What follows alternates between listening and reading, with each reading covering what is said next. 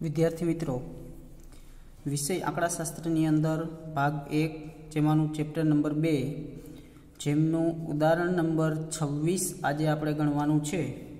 ઉદાહરણ નંબર છવ્વીસની અંદર આપણને રકમ આપવામાં આવી છે કે સીઓવી એક્સ વાય જેમ એસ એક્સનો સ્ક્વેર બરાબર ત્રણ જેમ પાંચ. ત્યારબાદ બીજું પદ આપવામાં આવ્યું છે કે એસ એક્સ જેમ એસ વાય બરાબર એક જેમ બે. આ પ્રમાણેની આપણને રકમ આપવામાં આવી છે અને સૂચનામાં કીધું હતું કે આ પરથી સહસંબંધાંકની કિંમત શોધો. તો હવે સહસંબંધાંક શોધવા માટે સૌ પ્રથમ બંને પદમાંથી જે જેમ આપેલા છે એ આપણે કાઢવા પડે.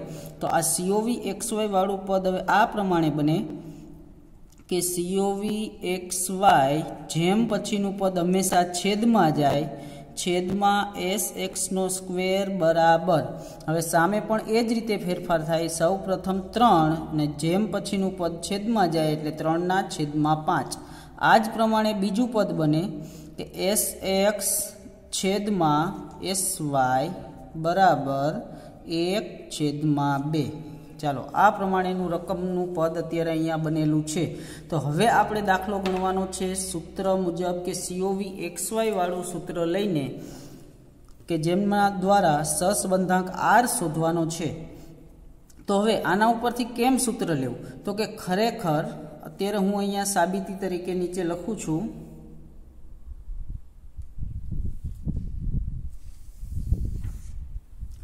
કે આપણી પાસે સૂત્ર એવું છે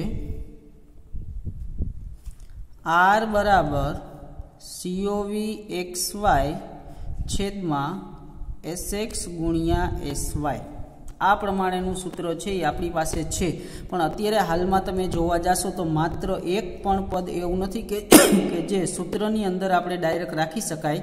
કેમ કે સીઓવી એક્સ વાય છેદમાં એસ એક્સનો સ્ક્વેર છે. અહીંયા એસ એક્સ છેદમાં એસ વાય છે. તો આપણે અહીંયા પહેલાં તો સૂત્રની સાબિતી કરવાની છે કે આ બે પદ દ્વારા આ જ સૂત્ર બને છે. તો એના માટે સાબિતી માટેનું પદ અહીંયા લખું. બે પદનો જો આપણે ગુણાકાર કરી, તો એમનો ગુણાકાર થાય કે સીઓવી એક્સ વાય છેદમાં એસ એક્સનો સ્ક્વેર ગુણ્યા બીજું પદ આપ્યું છે એસ એક્સ છેદમાં એસ વાય હવે આના ઉપરથી આપણું સૂત્ર બનશે. તો કઈ રીતે બને છે એ આપણે સાબિતી કરવાનું છે. તો જોઈ એના માટે, જો મિત્રો આ સમજ માટે છે, આ ક્યાંય દર્શાવવાનું હોતું નથી. આ તમારી સમજ માટે છે. એટલે અત્યારે તૈયાર કરાવું છું. બાકી આપણે ડાયરેક્ટ તમને ખબર હોય અને સૂત્ર દ્વારા ગણતરી કરી, જો સૂત્ર દ્વારા ગણતરી કરી નાખી, તો એ પણ આપણો જવાબ સાચો જ પડે. તો અત્યારે હવે સીઓવી એક્સ વાય છેદમાં એસ એક્સનો સ્ક્વેર તો આ પદની અંદર હું ફેરફાર કરું છું. સીઓવી એક્સ વાય છેદમાં એસ એક્સનો સ્ક્વેર છે એટલે એને આપણે આ રીતે લખી શકીએ કે એસ એક્સ ગુણ્યા એસ એક્સ આ એક પદ થયું. હવે એને ગુણ્યા, બીજું પદ તો હતું જ એસ એક્સ છેદમાં એસ વાય તો અહીંયા વચ્ચે ગુણાકારનો સંબંધ છે, તો આ એસ એક્સ અને આ એસ એક્સ નીકળી જાય. તો હવે વૈધું કેટલું? તો અંશમાં ખાલી વૈધા સીઓવી એક્સ વાય અને છેદમાં વૈધા એક એસ એક્સ પછી ગુણ્યા હતા એસ વાય આ બેનું આપણું આર માટેનું સૂત્ર.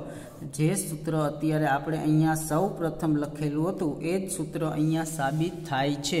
એટલે મારો કહેવાનો મતલબ કે જે આ બે પદ આપેલા છે, એ બંનેને ગુણાકારના સંબંધમાં મૂકતા આપણું સૂત્ર જ બને છે. એટલે આપણે એમનો ગુણાકારનો સંબંધ દર્શાવી, દાખલો ગણી શકીએ છીએ.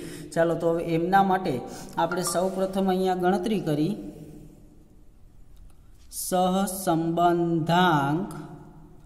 જેના માટેનું સૂત્ર એવું છે કે આર બરાબર સીઓવી એક્સ વાય છેદમાં એસ એક્સ ગુણ્યા એસ વાય પણ અત્યારે આ મુજબની આપણી પાસે રકમ નથી. એના બદલે એટલે એની બરાબર આપણે પદ મૂકશું ગુણાકારવાળું કે સીઓવી એક્સ વાય છેદમાં એસ એક્સનો સ્ક્વેર ગુણ્યા એસ એક્સ છેદમાં એસ વાય તો આ જ પ્રમાણે આપણે ગણતરી કરતા જાય તો સીઓવી એક્સ વાય છેદમાં એસ એક્સનો સ્ક્વેર, જેનો જવાબ છે ત્રણના છેદમાં પાંચ. એને ગુણ્યા એસ એક્સ છેદમાં એસ વાય એનો જવાબ છે એકના છેદમાં બે. તો પહેલાં અંશ, અંશનો ગુણાકાર થાય, એટલે ત્રણ એકા ત્રણ, છેદ, છેદનો ગુણાકાર થાય, એટલે પાંચ દુ દસ. તો જેમના માટેનો જવાબ આપણને મળે કે માટે આર બરાબર ઝીરો પોઈન્ટ ત્રણ. આપણો ગણતરીનો ભાગ આટલો જ છે. આ ભાગ એ તમારી સમજૂતી માટેનો છે. તો આ પ્રમાણે ઉદાહરણ નંબર છવ્વીસ આપણે ગણી શકીએ છીએ.